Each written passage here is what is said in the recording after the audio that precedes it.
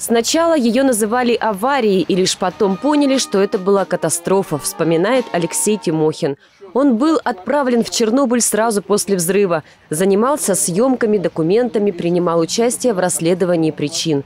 Говорит, хоть виду не подавали, страшно было всем. Конечно, страшно. Я, я не верю. Это скажет вам каждый, кто побывал в этом пекле.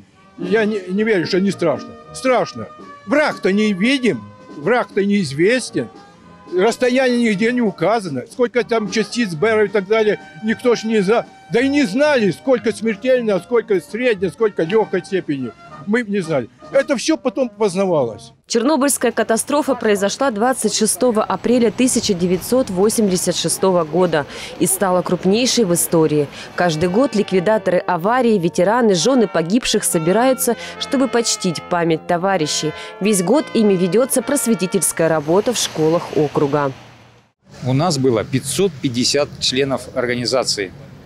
Но сейчас, конечно, уже 272 чернобыльца и 32 вдовы. Все это 304 человека, члены нашей организации. И вы знаете, а, когда мы встречаемся со школьниками, они слушают нас, но честно, э, чисто по-человечески, открыв рты, потому что э, они не знали даже, что это такое. Благодаря администрации округа, активистам, депутатам от «Единой России» теперь в Одинцове есть священное место.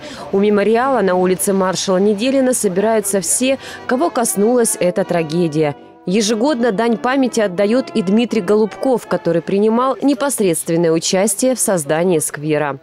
Есть это место в Одинцовском городском округе очень важно.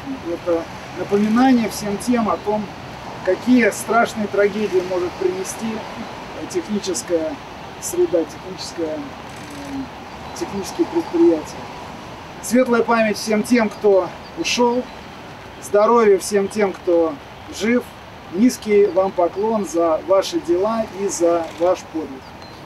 Красные гвоздики – символ благодарности и памяти традиционно возложили у памятного мемориала.